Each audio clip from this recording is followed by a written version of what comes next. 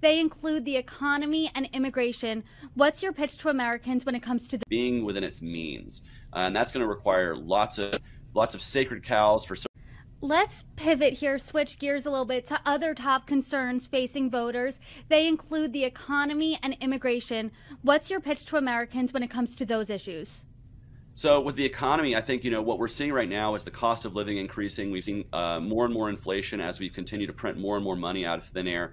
And my message to the American people is simple: we have to get back to a balanced budget. Uh, when we're not printing trillions of dollars out of thin air, we're not creating that hidden tax known as inflation.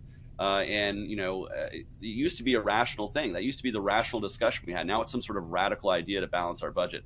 But when we did, when President Clinton balanced the budget, we had the largest growth of prosperity in the middle class we've ever seen in, in my lifetime. And I don't think those things are unrelated. And so when it goes to those kitchen table issues, I'll say, hey, we need to cut government back to where it is being within its means. Uh, and that's going to require lots of lots of sacred cows for certain members of Congress and certain districts to go away. But we need to streamline our government immediately because we can't afford what we've been doing.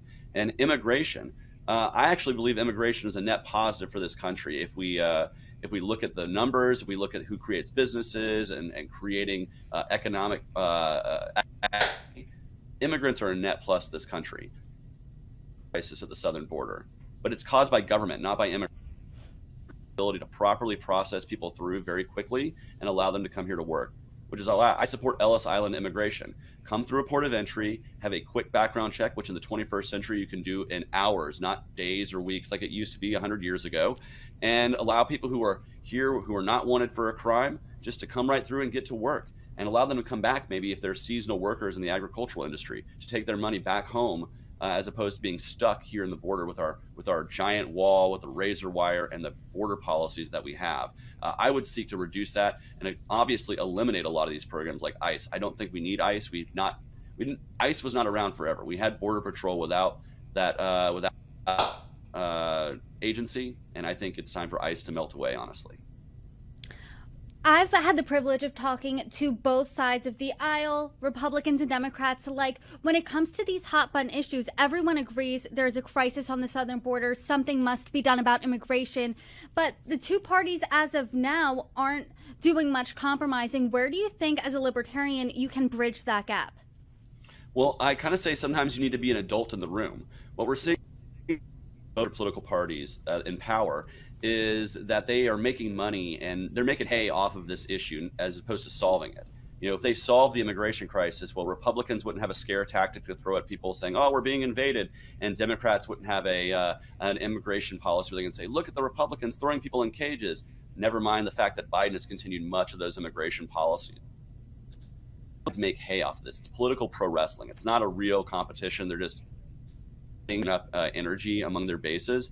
And I think if you had a libertarian in office, you could have somebody who's like, stop this posturing, stop this LARPing, this pretending of uh, politicking, and actually get down to work and sit down and solve the issue.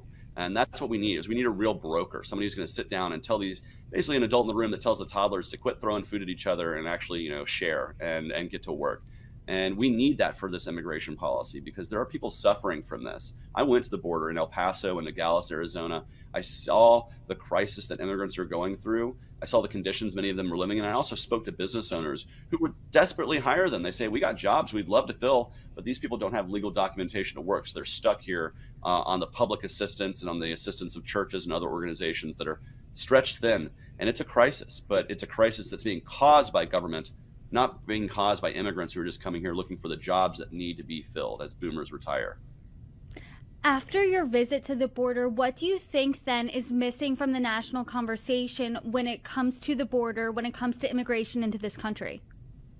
I think much of it is empathy for those who are coming here. I think there's just a kind of a, we treat immigration as some sort of like, you know, this uh, amorphous thing. We don't really see the human cost and the human journey that people come here to work hard for.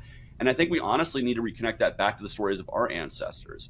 40% of the people in this country can trace their lineage back to the registry room in Ellis Island when millions of people came here from Europe. And what were the things we, that were told about them? They're going to steal our jobs. They're going to destroy our culture. They're bad for families. They're going to increase crime. Those are all the same slanders that are told against really good, hardworking people who just want to their own American dream the same way my ancestors did, and four out of every 10 people's ancestors did uh, during the time of Ellis Island. So I think what we need to do is connect that issue back to the greater issue of how immigration in the past has actually created a massive explosion of prosperity in this country and stop with the fear mongering and really start having empathy for those. You know, I imagine someone who walks barefoot across a desert to bring their kids here to have opportunity does so because they desperately love their children and they desperately want to see opportunity for them and their kids.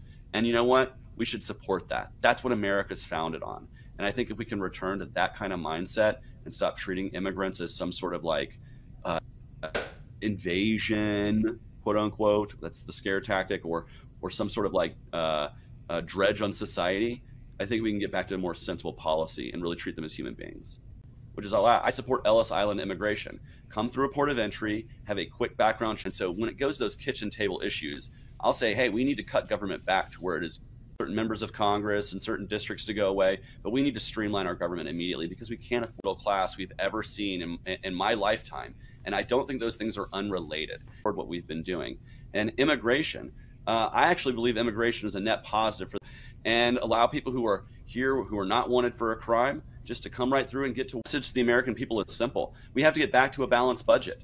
Uh, when we're not printing trillions of dollars country crisis at the southern border, but it's caused by government, not by immigration ability to properly process people through very quickly and allow them to come here to work. They include the economy and immigration. What's your pitch to Americans when it comes to the Out of thin air, we're not creating that hidden tax known as inflation. Uh, and you know uh, those issues. So with the economy, I think you know what we're seeing right now is the cost of living increase being within its means, uh, and that's going to require lots of lots of sacred cows for. But when we did, when President Clinton balanced the budget, we had the largest growth of prosperity in the middle. Let's pivot here, switch gears a little bit to other top concerns facing voters. It used to be a rational thing. That used to be the rational discussion we had. Now it's some sort of radical idea to balance our budget, creating uh, economic uh, immigrants are a net plus to this country. If we uh, if we look at the numbers, if we look at who creates businesses and, and